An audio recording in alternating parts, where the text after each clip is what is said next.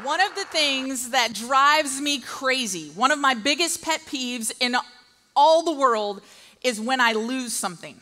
When I tell myself I'm gonna put it someplace safe and I always am gonna know it's here, and then I can't remember where I put it, it drives me crazy.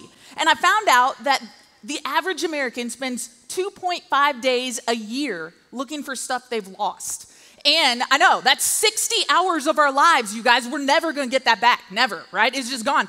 Well, as I was getting ready for tonight, um, I don't know if I lost it or if Chewy, the stage manager, um, is playing kind of a practical joke on me or something, but I had two props that are missing. They have been misplaced. You can call them lost, they might be stolen, but can everyone just help me look for them? I've lost my little lamb and my little coin, and without moving and getting out of your seat, could you just check under your chair?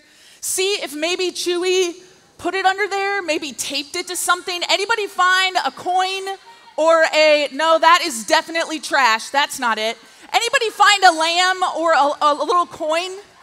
I'm really hoping that someone can find it. Did anyone find it front row?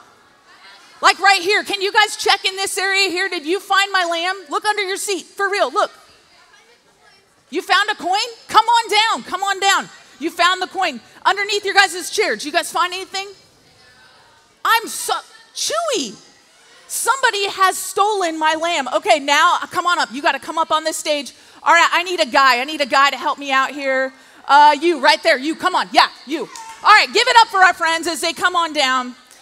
All right, I guess my lamb, you have a coin. This is not my coin. You found my lamb! You! I kind of want to kick one of these guys off this stage, but I don't want to do that. That's mean. Come up and play our game too. Come on. Give it up for our friends. All right. You stand right here. You stand right here. All right. Yeah, you're there. You're there. You're there. Perfect. Okay. You found my lamb. I can sleep tonight. You are amazing. This is not my coin. This was out of your pocket, wasn't it? No. Okay, she says no. All right, so what's your name? Amelia. Amelia. Amelia, what color team are you on? Blue. Blue. Any blue out there? Couple people. All right. All right, what's your name? Roman. What is it? Roman. Say it one more time. Roman. Roman. Roman, what color are you? Green. Green. Green? All right. There we go. Roman. My name is Josie. Josie. Josie, what color are you? Green. You're also green. Wow a lot of representation for the green. All right, here's what we're gonna do. We talked this morning about a lost sheep. Yes, some of you were listening good. And a lost that you didn't steal like Amelia did. No, just kidding. Just kidding. Just kidding. Just kidding. Can we still be friends? Yes. Okay, good. That was the right answer. All right. So, tonight we're talking about the parable of the lost son. And to do that, I want to play a game with you guys, but also you guys. So this is an all play.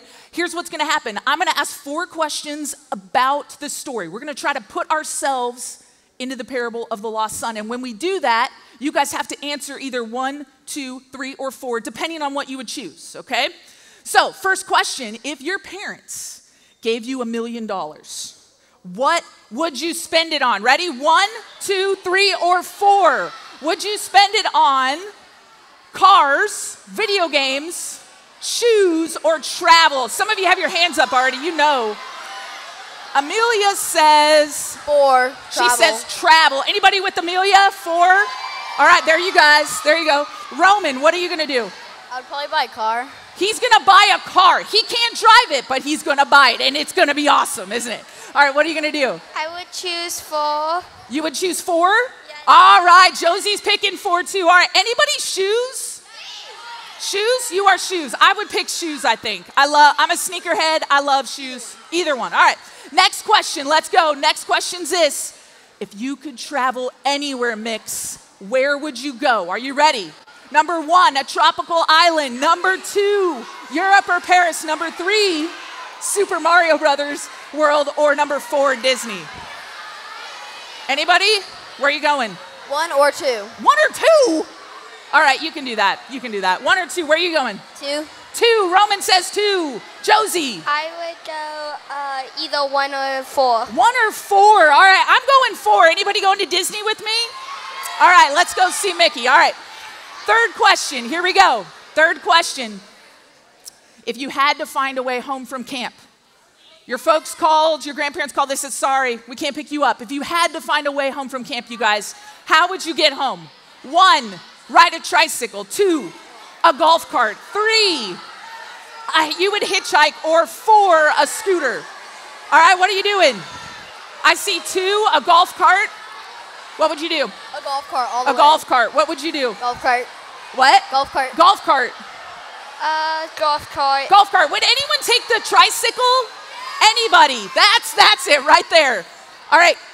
Can I can I tell you guys what I would do? I know this is like a little embarrassing, but I would I would take the Lime scooter. Here's why. I would take that. I, I love them. They're so much fun. But here's the thing I want you to know never, under any circumstances mix, should you try to video yourself while riding the scooter, it will go badly. Check this out. Ah! I my phone in my hand. Ah! All right, well, I didn't break any bones. I live to tell about it, but never do that. You guys, it's a bad idea. Our last question. Are you ready for our last one? All right, here we go. If you were lost, who would you listen to for directions? Number one, Baby Yoda. Number two, Mr. Beast. Number three, The Rock. Or number four, Serena Williams. What are you What are you thinking, Roman? Probably the rock. The Rock. The Rock. Anybody else? The Rock. Three. Yes. All right. What are you, Amelia? Rock. The Rock for sure. What about you, Um, Josie? Which one? the rock. The Rock. Everyone's listening to The Rock. All right. You guys, that was um, what? Wait a second. Wait. Did some of you? How many of you said Mr. Baby Yoda? There's my Star Wars fans. A couple. All right. All right, guys. Here's the deal. You guys played my game. Thank you so much for coming up. You're green team, right?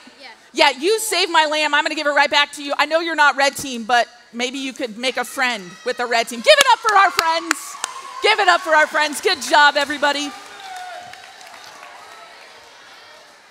Now, I know, you guys, it's pretty silly if we think about, it's pretty silly to think about going home riding a tricycle down I 65. It's pretty silly to think about that. It's also equally as silly to think about directions from Baby Yoda. But can I tell you something that's not silly? Here's something that's not silly. Who we listen to really, really matters. Who we listen to matters. And tonight, Jesus has a broadcast for us through this parable. He wants to speak right to our hearts tonight if we would be willing to let Him. So here's what I want you to do take your hands like this, put them right over your ears, not on them like you can't hear me, like la la la la, like you do to your siblings. Not like that. Not in your ears because earwax, but we're just gonna pray over our ears really, really fast. Are you ready? Pray with me. Lord, I pray that you would give us ears to hear what you are speaking to us tonight. Help us to listen and not to be distracted in Jesus' name. And everyone whispered, Amen. If you have your Bibles, open up to Luke chapter 15. If you have your Bible, can you kind of wave it at me? Let me see it. I want to make sure you brought it. Let me get it. You can get it. All right. Luke 15. What? It glows in the dark. I love it. All right. God's word is a lamp unto my feet and a light unto my path. Luke chapter 15. All right. I'm going to give you a second to get there. Here's the deal about the Bible. Everybody, you don't need to talk to open it up. So let's quiet down, listen. Shh. Cool. You guys, Luke chapter 15, it's in the back of the Bible, it's in the New Testament. You got Matthew, Mark, and then Luke. If you find the book of John, you've gone too far, you need to go back a little bit, okay? Here's the deal if you're new to this book, and you're like, I, I don't know. All I know is the pages are so crazy thin and the words are so small. If you're new to this book, that is okay. I want you to know there's a table of contents right in the front. You'll be able to get to Luke, or you can lean over to your leader and just say, Psst, I don't know where Luke 15 is, all right? And they will help you find it. All right, Luke chapter 15, Jesus is telling a parable. He told the parable of the lost sheep, and then the lost coin, and now the lost son. He told these right in a row, like bam, bam, bam. There were no breaks. Now, I know we told two parables, we took a long break, we did all the fun things, now we're here, but when Jesus' original hearers heard the story, they would have heard these three parables in a row, like a truth trifecta. Here we go. Verse 13 starts like this or no, sorry, verse 11. To illustrate the point further, Jesus told them this story. A man had two sons. The younger son told his father, I want my share of the estate now before you die. So his father agreed to divide his wealth between his sons. Time out. Before we go any further, we need a little context. Now, I don't know, um, I don't know if context, I know that's kind of a school word, but whenever we read God's words, you guys, we have to know the context. What do I mean by that? Check out this, uh, check out this slide from your student book. This right here says when we are reading the Bible, which you guys are going to kind of go through all this tomorrow, look for the context. You see that number one? Who are the characters? Who, what is the setting? Imagine the sights and the sounds. You guys, the context gives meaning to what we're reading. So, for example, back in Jesus' day, the culture was different. They had some things that we don't do today that were like really, really normal to them. And it's so helpful for us to know the context. Now, my, um, my friend Carmen got me this, this game. I don't know if you've ever played it. Raise your hand if you've played it. What do you meme? This is the family edition. It's clean, don't you worry, all right? Now, what do you meme? Shh, memes Memes are seriously my favorite. I love trying to take a funny picture or a GIF and trying to make it like the perfect thing to, to highlight what I'm trying to say. For example, if you were to text me and say, Jaclyn, how was your day? And I would just say, it was awful. All right? You'd be like, oh, I'm so sorry. You had a bad day. But if I were to text you, it was awful, and then I send this GIF, this meme with it of a dumpster fire, right? You would be like, whoa, sister had a bad day, right? You would, it would like give a whole new meaning to what you're talking about. All right, we can stop that GIF. It's just gonna keep going and going and going. So, you guys, context, don't miss this. Context, if you're taking notes, it's like a meme. It gives understanding and meaning and it sheds light on what we're reading. So when you're in the Bible and you're like, ah, that just doesn't make sense to me. Sometimes you got to be like, okay, what's the context? What's the setting? Who are we talking about? And what is going on in their culture that maybe I don't know? So here's the thing, you guys the son asked for his father's, his inheritance before his father dies. This is unheard of in their culture. They never would have done this. And what is he basically saying? I wish you were dead. Dad, I don't care about you. I just want you for your money, right? The original hearers, the original audience, which were the tax collectors and the sinners and the Pharisees and the religious leaders, you kind of have like the good guys and the bad guys, right? Or the bad guys and the good guys. They would have gasped like this. Oh, when they heard that. Like gasping in Spanish. Can you guys gasp in Spanish with me? right? I mean, seriously, that's what they would have done. They would have been so confused. But don't miss it, it gets worse. The father gives the money to the son. You guys, not only was it unheard of for a son to ask for his inheritance while his dad's alive, but it's even more unheard of for the father to say, Sure, Take it. Jesus is doing something. I don't want us to miss this. Jesus is doing something from the beginning of this parable. He's basically saying the younger son, he's a mess. He's making him look really, really bad, and he's making the father look extra gracious and generous. Let's keep reading and find out what's going on. All right, so context is everything. Everybody say everything. Context is everything. And we're gonna, we're gonna pause for context as we walk through this passage because it is everything and it's gonna make, make this story make so much more sense. Verse 13. A few days later, this younger son packed all his belongings and moved to a distant land where there he wasted his money in wild living.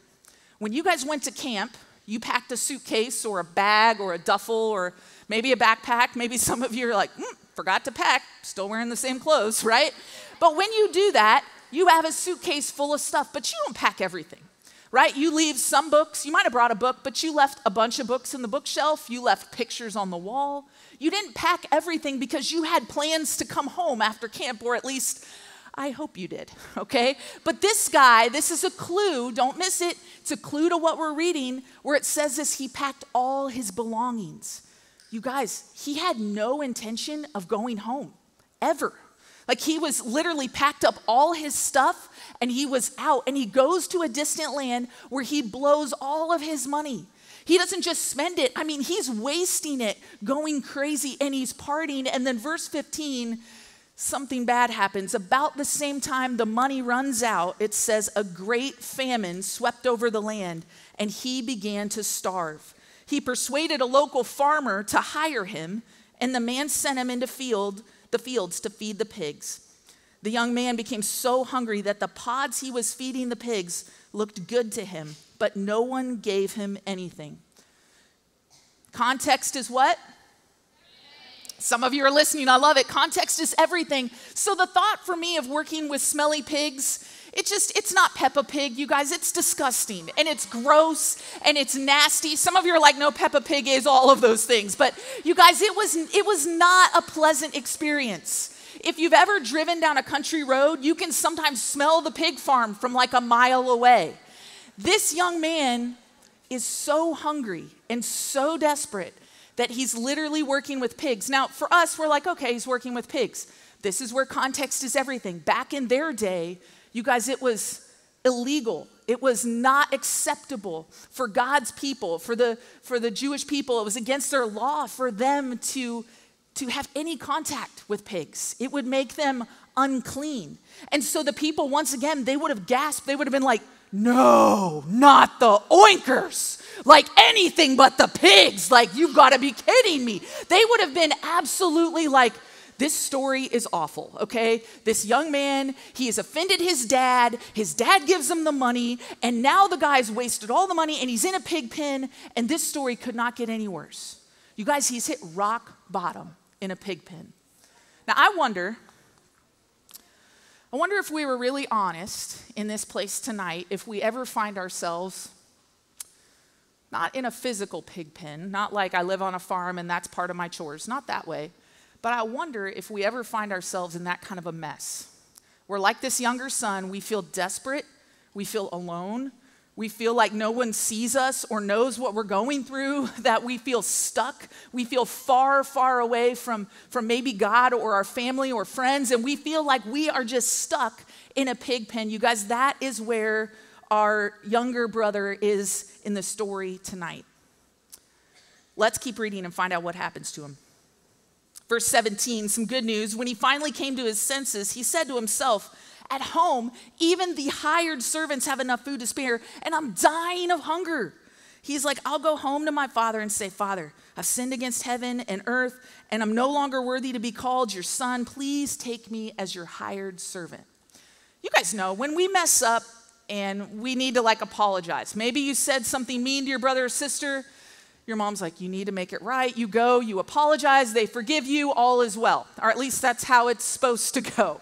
But in this, in this case, the, this guy has done something so bad that it's not just a, hey, dad, I'm sorry, I'm back. Can I have my room back? No, it's, it's a lot more than that. He's thinking to himself, like, I'm gonna have to put a speech together. I'm gonna have to, like, write a note, and it's gonna be a big deal. And I'm just hoping and praying that my dad will take me back in because right now I'm hungry and I just want food so that I don't die. That's the desperate spot he's in. One version says, it says he came to his senses. Another said, the son finally realized what he was doing. He finally realized that he's rehearsing his speech, he's on his way home. You guys, I wonder if he was nervous. I wonder if he was scared. I wonder if he was like this. This is one of my favorite nervous gifts. Can you guys make that face with me?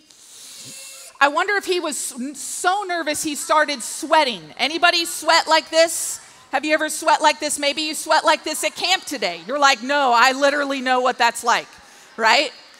I wonder what he was thinking about on his way home.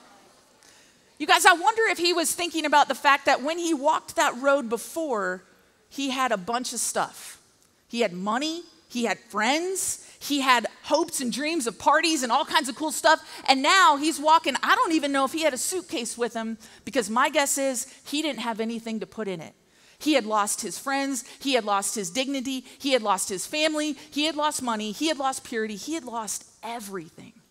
But he's going home, he's reciting his speech, and verse 20 says this So he returned home to his father, and while he was still what? A long way off. his father saw him coming and filled with love and compassion, he ran to his son, hugged him, kissed him. His son said to him, and he starts the speech. He's been rehearsing it for miles now, and he says, he says his whole thing, Father, I've sinned against heaven and you, and I'm no longer worthy to be called your son. And it's like, it's like the father didn't even hear him.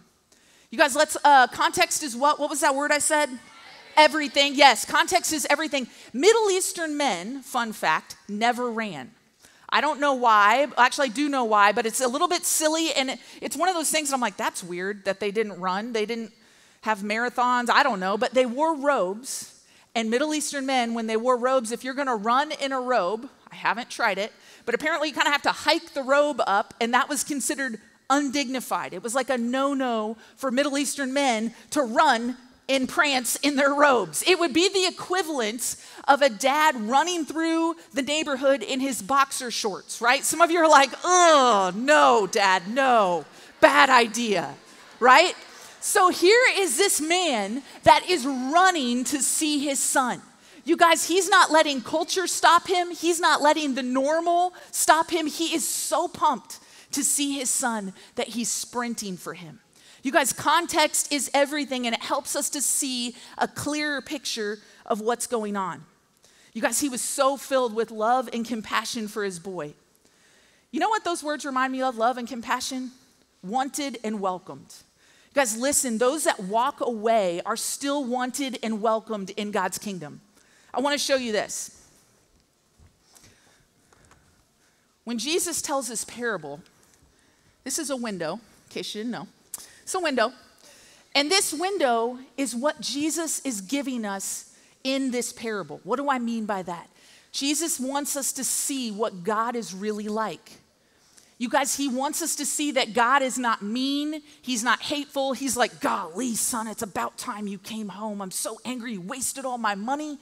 You good for nothing, blah, blah, blah, lazy kid. No. You guys, Jesus is giving us a window into the heart of the Father, where we can look through this window and He says, You want to see what God the Father is like? Look at the Father in this story. If you look through the window, you see a father running towards his son. You see a father who is forgiving and kind. See, some of you guys, you've done some stuff that you're not proud of. You've been in that pit of sin, and you feel like, man, I don't know if I can ever get out. Or even worse, You've been listening to the broadcast of the enemy, and it kind of sounds like this I don't think I can come back. I've done too much. I've lied too much. I've gossiped too much. I've watched too much. I've drank too much. I wonder, you guys, if some of you are believing the lie of the enemy that you can't come back because you think that God is mad at you. You think that God doesn't want you anymore, that He doesn't care about you anymore. You think you've done too many bad things and that He doesn't. No, He wouldn't want me. You guys, listen to me. Mix, listen. Have ears to hear what the Lord wants you to hear tonight is that He is waiting and longing for us to come home and he, his heart towards us isn't angry or mad. He's not up there with the lightning bolt, like ready to strike you down. I saw what you did. No. You guys, he is looking and waiting and longing for you to run home into his arms. That is the heart of the Father. But Jesus also does something else.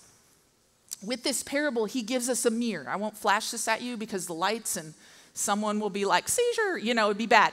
Um, but he gives us a mirror. This is what, watch what I'm gonna do here. He gives us a mirror, and mirrors, we know, are to look at ourselves and to take a really good look at our heart and say, How have I, like the younger son, how have I walked away from God? How have I, how have I walked away? You guys, I know that in this room that some of us have walked away from him. We had a relationship with him and then for whatever reason maybe we got involved in the pit of sin in the pig pen of sin and we just kind of uh, I don't know if I can come back. Maybe some of you guys you're new here. You're like, I don't even know about this Jesus thing and this Bible thing and we're singing these songs and it looks like a lot of fun. And I'm here to tell you some really good news tonight. Jesus loves you. Jesus died for you. I want you to read this verse. Read this with me. It's Romans 5 8. It says, While we were still sinners, Christ died for us. You guys, when you look in the mirror of our own lives, we see, man, I, I have walked away. Some of you are gonna identify with that younger son. You're gonna be like, mm, that is me. I am the pig pen kid. Like, that is me. You guys know, you're gonna learn about this tomorrow when the older son story is told. He was prideful. He thought he was better than everybody else. He thought that he was good because of all the stuff he did. And when the tax collectors and the, no, sorry, when the religious leaders and the Pharisees, when they hear this story and they look in the mirror, they're like, oh, snap, that older brother's me. Well, guess what? When the sinners and the tax collectors, when they look in the mirror of this parable, they see themselves in that younger brother. I wonder how you've walked away.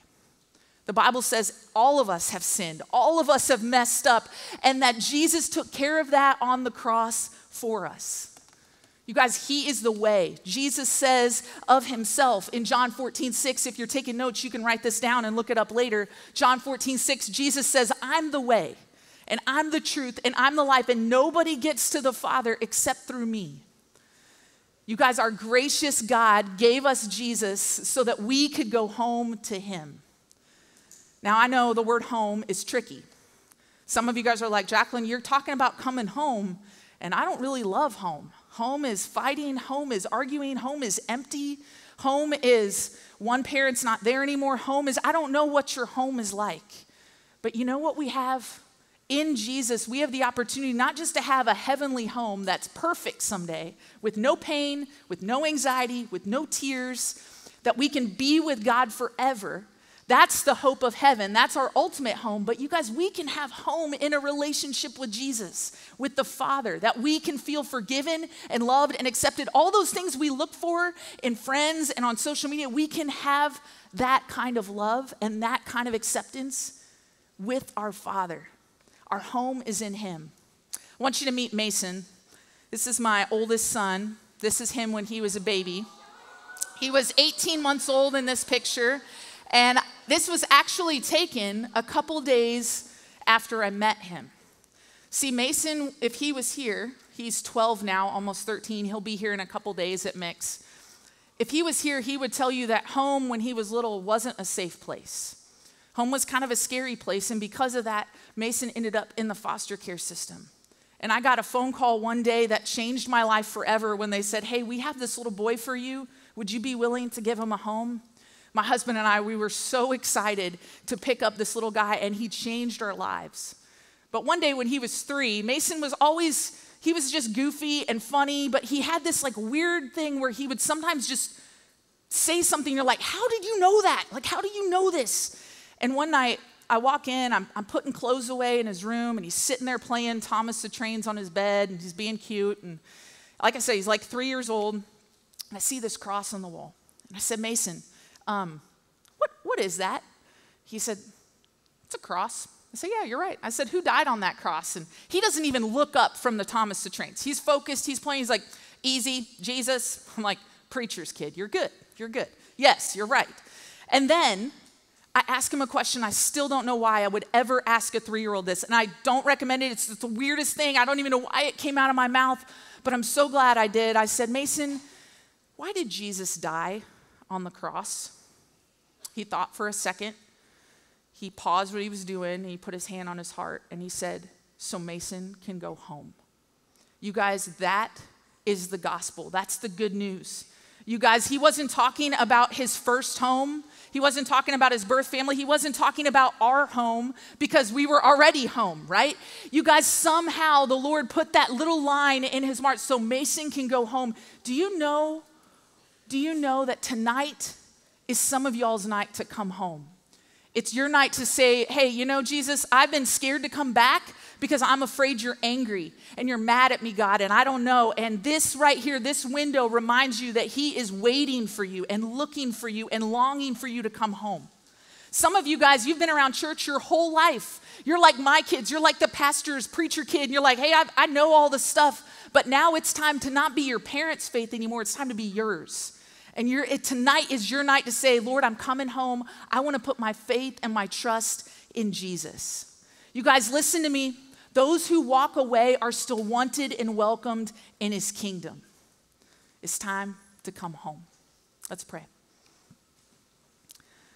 Heavenly Father, I am so thankful for the picture that we get of you in this parable. God, it is so amazing to see your goodness and your kindness and your love towards us.